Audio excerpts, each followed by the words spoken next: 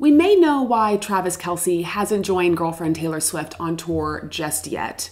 Plus, one star is making her SNL hosting debut next month, and another just went nude in Vanity Fair. Don't worry, we'll explain.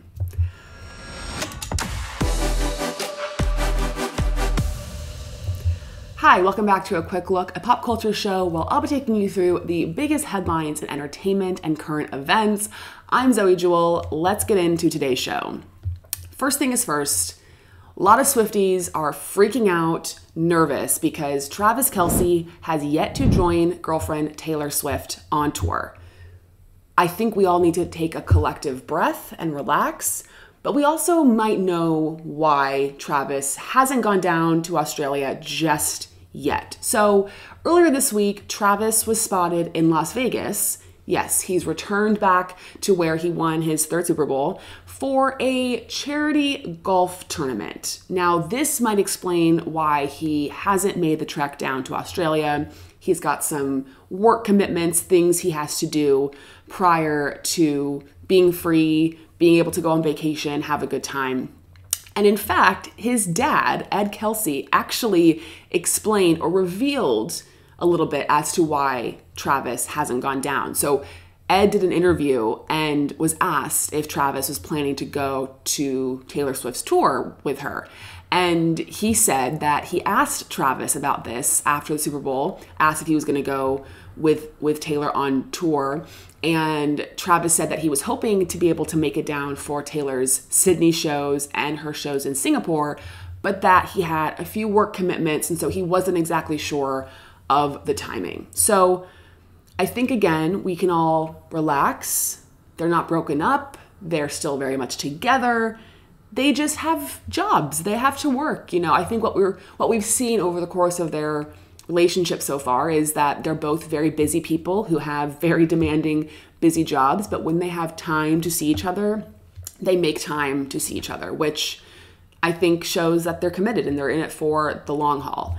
Another sign that they're still together and everything is fine is Taylor was actually spotted wearing the Chiefs Super Bowl hat when she was flying from Melbourne, where she played last weekend, to Sydney, where she has shows this weekend. So she's still in the Chiefs spirit. She's very much, I think, if you're a football fan or sports fan, it's very common, right? When you're traveling at the airport, you want to wear your favorite team's merch.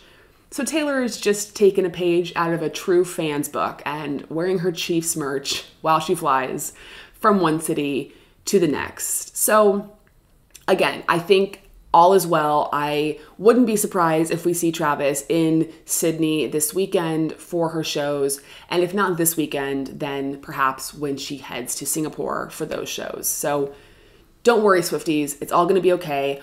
Also, just a bit of a side note, I've been loving seeing how many Swifties, Taylor Swift fans, have been wearing Travis Kelce jerseys, shirts to her shows in Australia.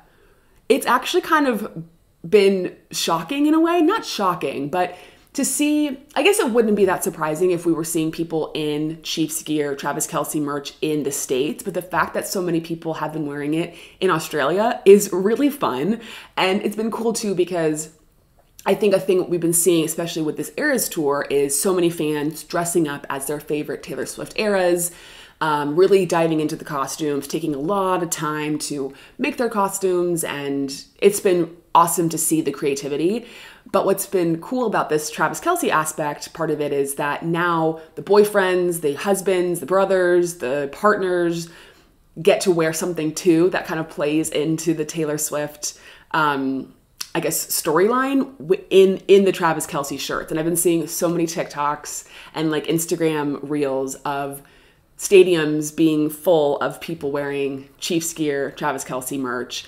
In fact, I, I believe Taylor Swift actually liked an Instagram reel recently of a family that was wearing Chiefs gear and Travis Kelce merch. So she loves it clearly. And I just think it's crazy that we live in a world where internationally, people are wearing Chiefs merchandise and Travis Kelce merchandise. It's pretty cool, honestly.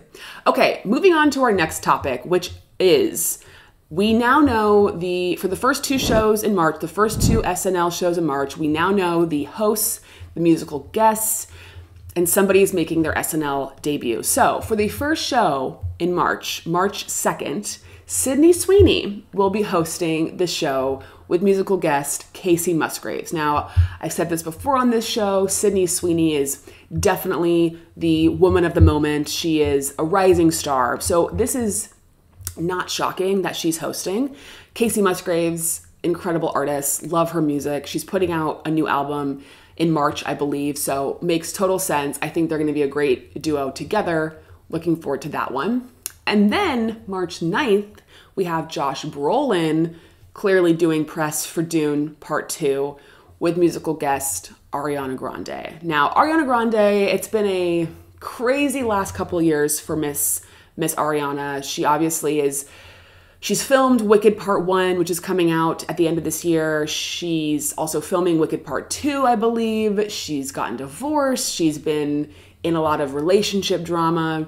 Her new music is coming out. Um, but she's kind of been, I feel like music has been on the back burner for her the last couple years. And so I'm excited to get this new era of Ariana.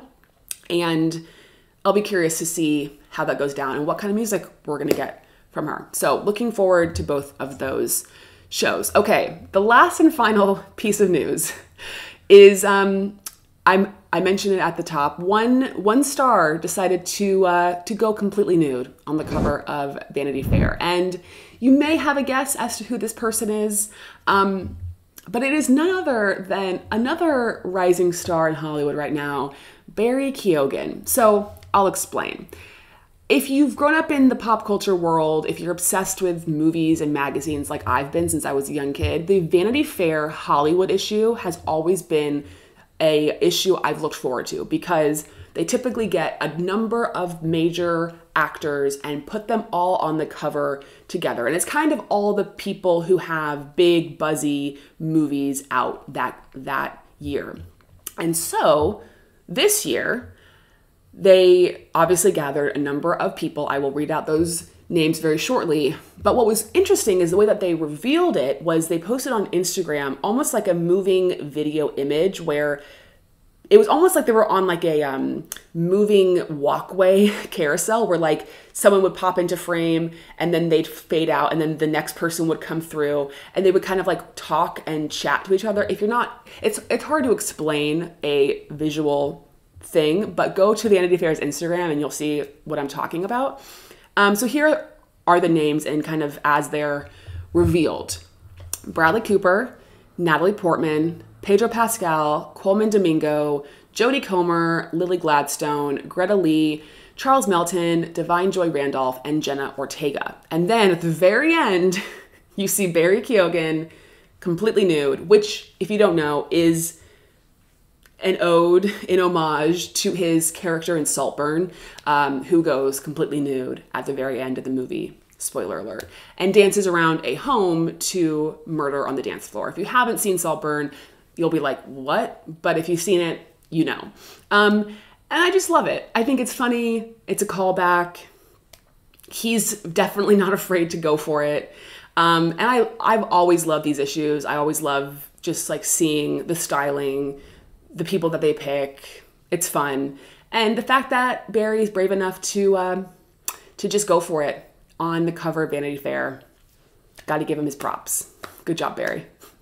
All right, guys, that is it for today's show. Let me know in the comments what you think about all the different topics. Is Travis going to end up in Sydney this weekend? What's going to go on with that? All the things. Make sure to subscribe to our channel, follow us on social media, and we'll see you guys next time. Bye.